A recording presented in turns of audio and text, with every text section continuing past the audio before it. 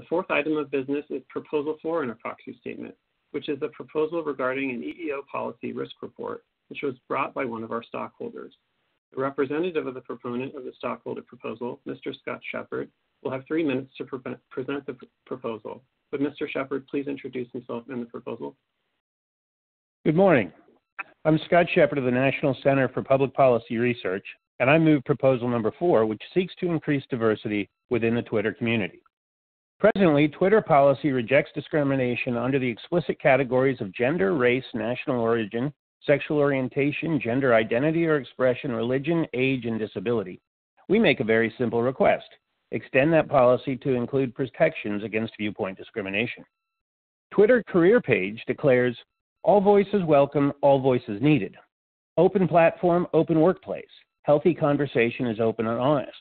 At Twitter, everyone speaks their mind, even when it's an unpopular opinion. That's because we respect truth and trust each other enough to make space for disagreement and debate.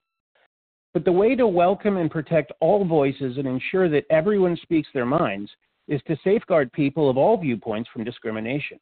This requires an enforceable prohibition against viewpoint discrimination.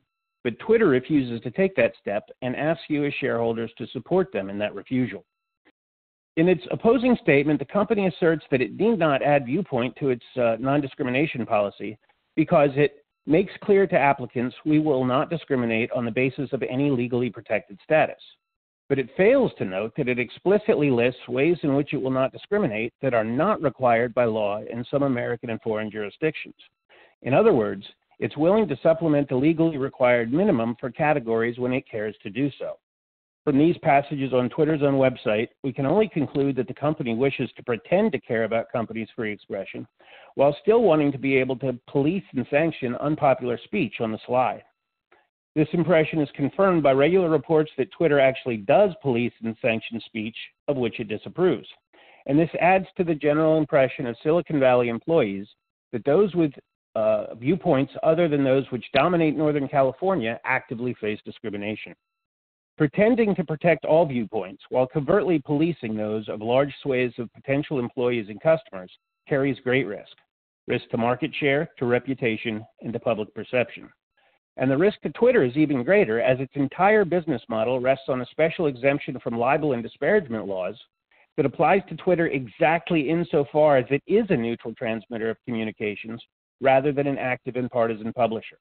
A failure to remain actively and aggressively neutral with regard to viewpoint will and should endanger that special legal privilege without which Twitter would collapse.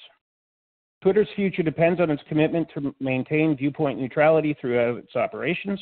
Our proposal provides the tool that Twitter needs to achieve that end. We urge all shareholders to vote for proposal number four and in favor of protections against viewpoint discrimination. Thank you. Thanks, Mr. Shepard, for your comments. For the reasons detailed in our opposition statement, including included in our proxy statement, our board has believes that this proposal is not in the best interest of Twitter or our stockholders and recommends a vote against the proposal. For further information, please see our opposition statement. I would now like to call the vote on Proposal 4.